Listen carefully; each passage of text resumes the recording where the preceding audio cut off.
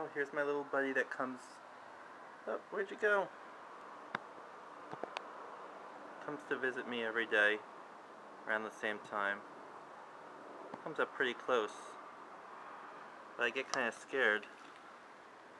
I don't know if he's going to attack me like that chimpanzee attacked that woman. I mean, what could a squirrel do? I mean, look at that squirrel. He don't give a shit. Look at him. You just want some nuts. Get in there.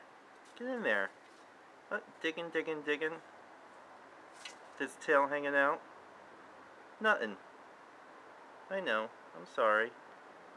Oh, he's got some lint on his tail. He don't give a shit.